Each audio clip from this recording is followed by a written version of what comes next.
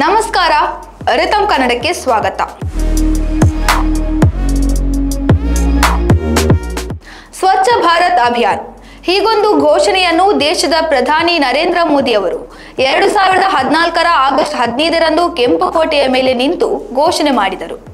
ಅದೇ ವರ್ಷದ ಅಕ್ಟೋಬರ್ ಎರಡರಂದು, ಅಂದರೆ ಗಾಂಧಿ ಜಯಂತಿಯ ದಿನದಂದು ಈ ಬೃಹತ್ ಅಭಿಯಾನಕ್ಕೆ ಸ್ವತಃ ಪ್ರಧಾನಿಯವರೇ ಪೊರಕೆ ಹಿಡಿದು ಚಾಲನೆ ನೀಡಿದರು.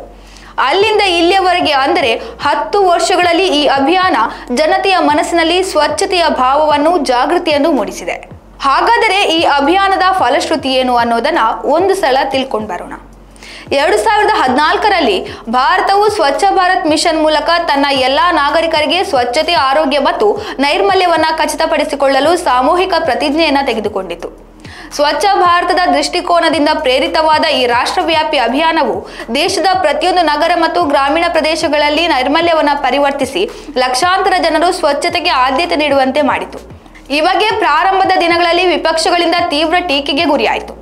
ಅವುಗಳು ಇದು ಯಶಸ್ವಿಯಾಗಲು ಸಾಧ್ಯವೇ ಇಲ್ಲ ಎಂಬ ವಾದ ಮಾಡಿದ್ದವು. ಆದರೆ ಈಗ ಸ್ವಚ್ಛ ಭಾರತ್ ಮಿಷನ್ ಯಶಸ್ವಿಯಾಗಿ ತನ್ನ ಹತ್ತು ವರ್ಷಗಳನ್ನು ಪೂರೈಸಿದ್ದು ಮಾತ್ರವಲ್ಲದೆ ಇದರಿಂದ ನಾಗರಿಕರಿಗೆ ಅನೇಕ ಉಪಯೋಗಗಳನ್ನು ತಂದುಕೊಟ್ಟಿದೆ. ಉದಾಹರಣೆಗೆ ಎಸ್ ಬಿ ಎಂ ಅಡಿಯಲ್ಲಿ ಜೀವನೋಪಾಯದ ಪ್ರಯೋಜನಗಳನ್ನು ತೆಗೆದುಕೊಳ್ಳಿ. ಅದರ ಮೊದಲ ಹಂತದಲ್ಲಿ ನೈರ್ಮಲ್ಯ ಮೂಲಸೌಕರ್ಯವನ್ನು ಬೃಹತ್ ಪ್ರಮಾಣದಲ್ಲಿ ಅಭಿವೃದ್ಧಿಪಡಿಸುತ್ತಿದ್ದಾಗ ನೂರ ಹತ್ತು ದಶಲಕ್ಷಕ್ಕೂ ಹೆಚ್ಚು ಶೌಚಾಲಯಗಳನ್ನು ನಿರ್ಮಿಸಲಾಯಿತು. ಇದು two point five nine million ಪೂರ್ಣ ಸಮಯದ ಕಾರ್ಮಿಕರಿಗೆ ನೇರ ಉದ್ಯೋಗವನ್ನ ಮತ್ತು four point nine five million ಜನರಿಗೆ ಪರೋಕ್ಷ ಉದ್ಯೋಗವನ್ನ ಒದಗಿಸಿತು. ಕಾರ್ಮಿಕರು ಮತ್ತು ಮೇಸ್ತ್ರಿಗಳಿಂದ ಹಿಡಿದು ಎಂಜಿನಿಯರ್ಗಳು ಮತ್ತು ನೈರ್ಮಲ್ಯ ಕಾರ್ಮಿಕರವರೆಗೆ ಉದ್ಯೋಗಗಳು ಹೆಚ್ಚಾದವು. ಹೆಚ್ಚು ಗಮನಾರ್ಹವಾಗಿ ಈ ಕಾರ್ಯಕ್ರಮವು ಮಹಿಳೆಯರನ್ನ ಸಬಲೀಕರಣಗೊಳಿಸಿತು. ರಾಣಿ ಮೇಸ್ತ್ರಿಗಳೆಂದು ಕರೆಯಲ್ಪಡುವ ಮಹಿಳಾ ಮೇಸ್ತ್ರಿಗಳಿಗೆ ತರಬೇತಿ ನೀಡಿತು. ಮಿಷನ್ ಅಡಿಯಲ್ಲಿ ನೈರ್ಮಲ್ಯ ಮೂಲಸೌಕರ್ಯಗಳನ್ನು ನಿರ್ಮಿಸಲು ಈ ಪ್ರಯತ್ನಗಳು ಮಹಿಳೆಯರಿಗೆ ಹೊಸ ಜೀವನೋಪಾಯವನ್ನು ಸೃಷ್ಟಿಸಿದವು. ಅವರ ಸಮುದಾಯಗಳಲ್ಲಿ ಅವರ ಪಾತ್ರವನ್ನ ಪರಿವರ್ತಿಸಿದವು. ಜನಸಾಮಾನ್ಯರ ಬದುಕನ್ನು ಸುಗಮಗೊಳಿಸುವುದು ಪ್ರಧಾನಿಗಳ ಪ್ರಥಮ ಕರ್ತವ್ಯ. ದಶಕದ ಹಿಂದೆ ಶೇಕಡ ಅರವತ್ತರಷ್ಟು ಜನರಿಗೆ ಬಹಿರ್ದೇಶಕ್ಕೆ ಬಯಲು ಪ್ರದೇಶಗಳು ಅನಿವಾರ್ಯ ಆಯ್ಕೆಯಾಗಿತ್ತು. ಮುಖ್ಯವಾಗಿ ದಲಿತರು, ಹಿಂದುಳಿದ ಜಾತಿ ಸಮುದಾಯ ಮತ್ತು ಬುಡಗಟ್ಟು ಸಮುದಾಯದ ಜನರು ಇದರಿಂದ ಅಪಮಾನ ಎದುರಿಸುವ ಸನ್ನಿವೇಶವಿತ್ತು. ಮಹಿಳೆಯರ ಸ್ಥಿತಿಯು ತೀರಾ ಹೀನಾಯವಾಗಿತ್ತು. ಇದಕ್ಕೆ ಜ್ವಲಂತ ಉದಾಹರಣೆ ಎಂದರೆ, ಮಹಾರಾಷ್ಟ್ರದ ಫಾಲ್ಗಡ್ ಜಿಲ್ಲೆಯ ನಂದಗಾಂವ್ ಗ್ರಾಮದ ನಿವಾಸಿ ಸುಶೀಲಾ ಕುರ್ಕುಟೆ ಅವರು ಶೌಚಾಲಯವನ್ನ ಹೊಂದಿರಲಿಲ್ಲ. ಸುಶೀಲ ಅವರ ಮೊದಲ ಗರ್ಭಧಾರಣೆಯ ಸಂದರ್ಭವೂ ಅವರು ಬಯಲನ್ನೇ ಅವಲಂಬಿಸಿದರು. ತಾನು ಸಾಕಷ್ಟು ಆಹಾರ ಸೇವನೆ ಮಾಡಿದರೆ ಶೌಚಕ್ಕೆ ಬಯಲಿಗೆ ಹೋಗಬೇಕೆಂಬ ಭಯದಿಂದ ತಿನ್ನುವುದನ್ನೇ ಕಡಿಮೆ ಮಾಡಿದ್ದರು. ಇದರಿಂದ ಅವರು ಎರಡು ಸಲ ಗರ್ಭಪಾತಕ್ಕೆ ಒಳಗಾದರು.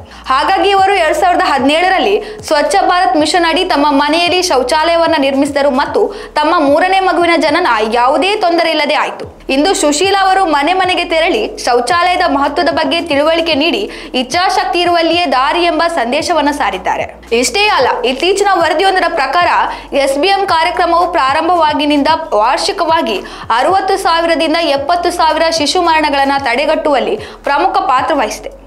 ವಿಶ್ವ ಆರೋಗ್ಯ ಸಂಸ್ಥೆಯ ಅಂಕಿಅಂಶಗಳ ಪ್ರಕಾರ ಎರಡು ಸಾವಿರದ ಇಪ್ಪತ್ತೈದರ ವೇಳೆಗೆ ಭಾರತದಲ್ಲಿ ಹೆಚ್ಚುವರಿ ಆರುನೂರ ಎಪ್ಪತ್ತೇಳು ಪಾಯಿಂಟ್ ಮೂರು ಮಿಲಿಯನ್ ಜನರು ಎರಡು ಸಾವಿರದ ಹದಿನೆಂಟಕ್ಕೆ ಹೋಲಿಸಿದರೆ ಸುಧಾರಿತ ಆರೋಗ್ಯ ಮತ್ತು ಯೋಗಕ್ಷೇಮದಿಂದ ಪ್ರಯೋಜನ ಪಡೆಯುವ ನಿರೀಕ್ಷೆ ಇದೆ ಎಂಬುದಾಗಿದೆ. ಈಗ ಸ್ವಚ್ಛ ಭಾರತ್ ಮಿಷನ್ಗೆ ಹತ್ತು ವರ್ಷಗಳು ತುಂಬಿದೆ. ಈ ಬಗ್ಗೆ ಪ್ರಧಾನಿ ಸಂತಸ ವ್ಯಕ್ತಪಡಿಸಿದ್ದಾರೆ. ದೇಶದ ಜನರ ಆರೋಗ್ಯ ಹಾಗೂ ಜೀವನ ಪದ್ಧತಿ ಮೇಲೆ ಧನಾತ್ಮಕ ಪರಿಣಾಮ ಬೀರಿರುವ ಸ್ವಚ್ಛ ಭಾರತ್ ಆಂದೋಲನವು ಇಪ್ಪತ್ತೊಂದನೇ ಶತಮಾನದ ಅತಿ ದೊಡ್ಡ ಮತ್ತು ಅತ್ಯಂತ ಯಶಸ್ವಿ ಜನಾಂದೋಲನವಾಗಿದೆ.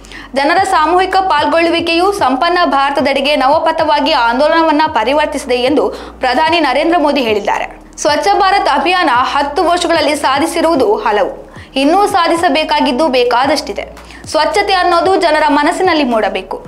ನಾನು ಸ್ವಚ್ಛವಾಗಿ ಇರುತ್ತೇನೆ, ನನ್ನ ಸುತ್ತಲಿನ ಪರಿಸರವನ್ನ ಸ್ವಚ್ಛವಾಗಿ ಇಡುತ್ತೇನೆ ಎಂಬ ಭಾವನೆ ಪ್ರತಿಯೊಬ್ಬರಲ್ಲೂ ಮೂಡಿದಾಗ ದೇಶ ತನ್ನಿಂತಾನೇ ಸ್ವಚ್ಛವಾಗುತ್ತದೆ.